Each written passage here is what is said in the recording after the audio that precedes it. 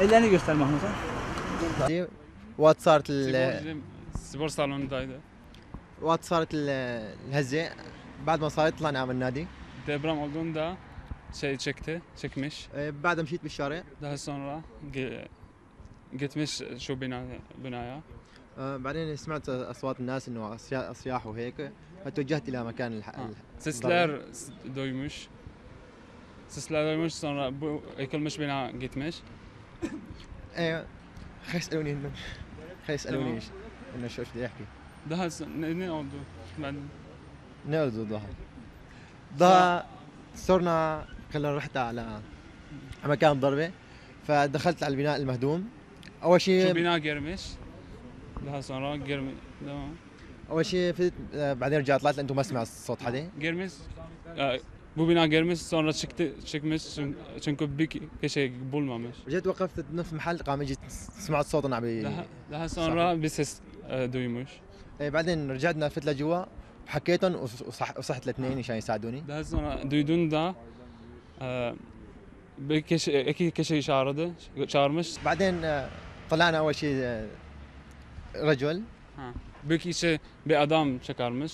Daha sonra e, bu kadın ağır e, yani a- binada ağır e, beton olmuş. beton evet. E, de- e, şey tura, e, yıkılmış bina biraz yavaş yavaş şey alıyorlar.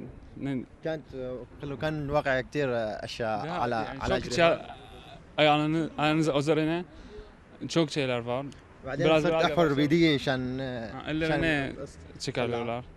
Mahmut da Mahmut'un da çabalarıyla Allah'ın da izniyle yani eşim önce ben sonra da eşimi e, olay yerinden çıkartan Mahmut arkadaşımız.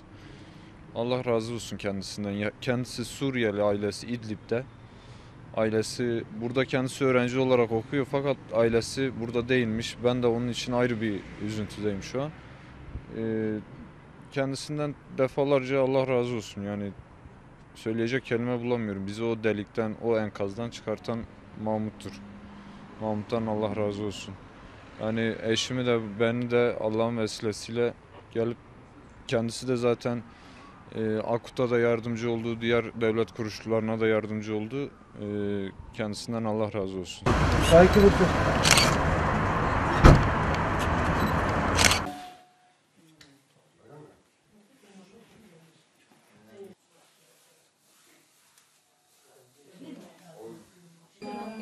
biz 6 tane mimarlık okuyan arkadaştık.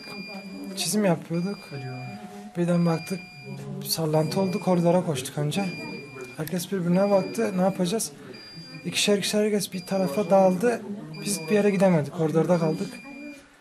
Kapıyı açmaya çalıştım odanın kapısı kirişin lanton altına gireyim diye üstüme onlar yıkılmaz diye.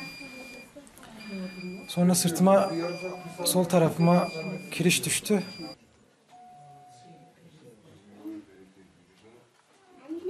Ben çay dolduruyordum o an deprem oldu. Deprem olmasıyla biz salonda oturuyorduk. İşte salonun e, kapısının önüne geldiğimizde bina o anda zaten hareket etmemize fırsat bile vermedi. Eşimle birbirimize sarıldık. E, şey yaptık yani kelime-i şehadet getirip birbirimize haklarımızı helal ettik. Orada her şey üzerimize yıkıldı. Peki abla siz nasıl çıktınız? Kendi çabanızla mı çıktınız yoksa devlet e, şey e, şu şekilde çıktık biz. Ee, belki hani tuhaf gelir insanlara ama gerçekten Rabbimin yardımıyla çıktık. Ee, yani o enkazın altında ikimiz de abdestliydik. Eşimle birlikte bağıra bağıra dua ettik.